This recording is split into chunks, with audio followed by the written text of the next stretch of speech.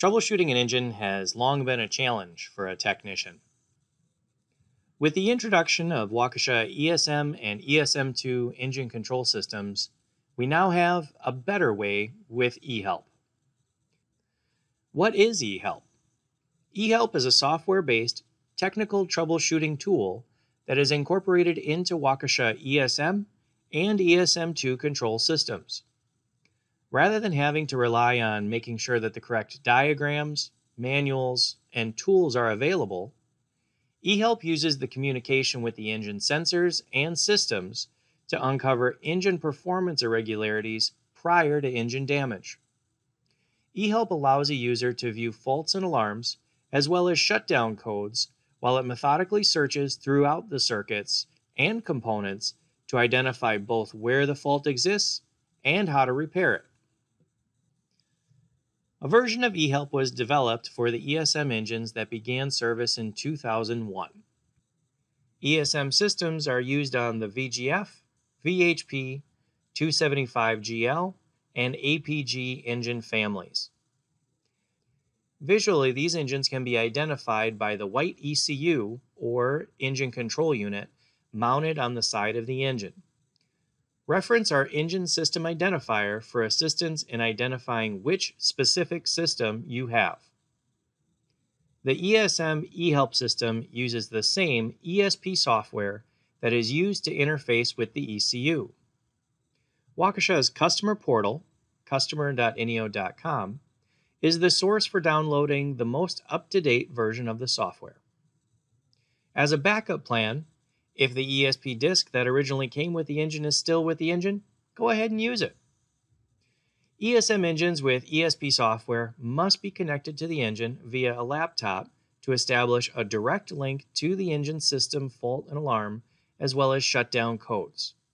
However, other methods are also available to access ESM eHelp when connection to an engine ECU is not available.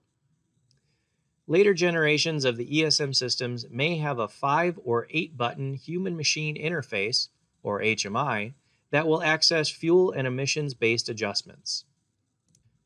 The latest generation of engine controls from Waukesha, ESM2, was introduced in 2016.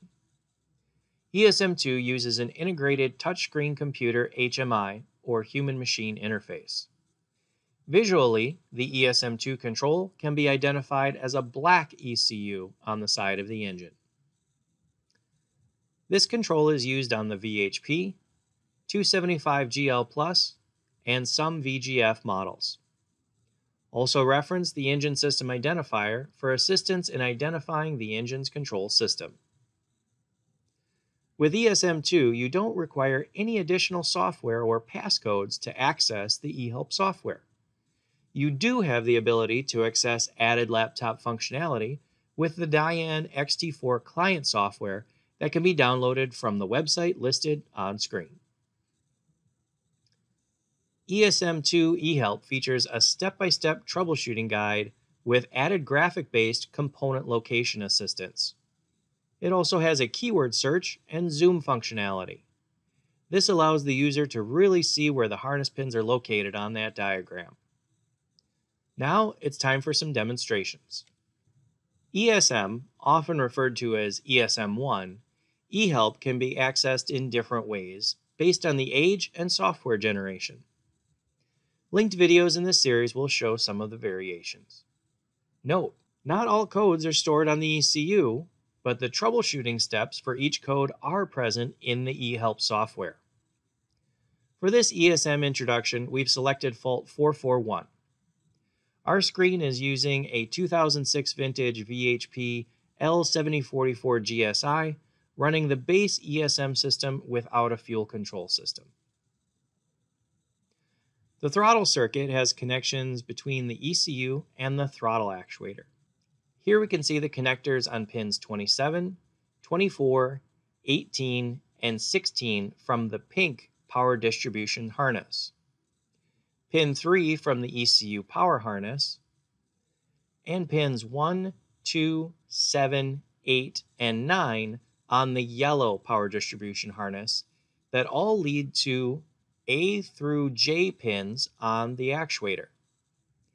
As we work through the checklist, we can see that the actuator should have 24 volts DC between pins A and H, as well as which wires, pins, and harnesses make up the connection to the actuator. With the use of the electrical meter continuity, voltage, and ohm measurement tests, the source for the fault can be discovered. Similar troubleshooting exists for all system codes. The source for this fault was that we disconnected the throttle harness from the actuator to keep the noise down while recording this video. ESM2 eHelp is accessible on the HMI directly, or it can be accessed on site via a laptop with the appropriate software. It has a similar set of faults, but they are unique to the ESM2 system and all contain four digits. Select the fault from the alarm screen and then select the PDF icon to launch ESM2 eHelp. As we select the engine family and cylinder count, we can see in this example, a 2020 vintage VHP L7044 GSI, the fault code 2015.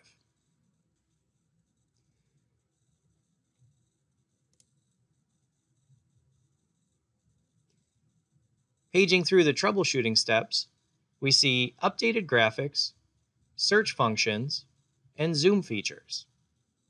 ESM2 also benefits from multi-year data collection for extended trending, graphing, parameter programming changes, and more. This data can be filtered or searched for based on time, user, or system.